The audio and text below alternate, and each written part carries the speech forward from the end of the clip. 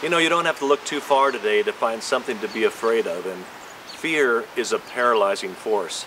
And I was watching the news and uh, listening to the reports of oil prices going sky high and uh, what's going on in Libya and the Middle East. It's just a lot of reasons to look and, around and be afraid. But over and over again, what did Jesus say to us? Don't be afraid. Do not fear. And, uh, and that's my word to you today. Don't be afraid. You know, fear paralyzes us, but faith mobilizes us. And I'm telling you that from personal experience. I've had a lot of reason to be afraid. And, and I've woken up some mornings just paralyzed with fear, but it, it doesn't do any good.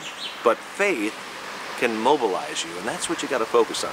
God is able to do exceedingly abundantly above all that you could ever ask or think. And I want to share this scripture with you. It says, it's from Isaiah 43. It says, Don't be afraid, for I have redeemed you. I have called you by name. You are mine. And you can put your name in there. Uh, John, Sarah, you are mine. When you go through deep waters and great trouble, I'll be with you. When you go through rivers of difficulty, you will not drown.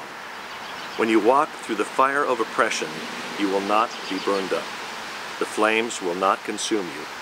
For I am the Lord your God, the Holy One of Israel, your Savior. Oh, what a word of encouragement. When you're going through those storms, when you go through the rivers of difficulty, those waters will not overwhelm you. You're not going to drown. And when you go through the fire of oppression, you're not going to be burned up. Because God is our Savior, and He has already made a way for us. So don't be afraid. Choose faith, not fear. God bless.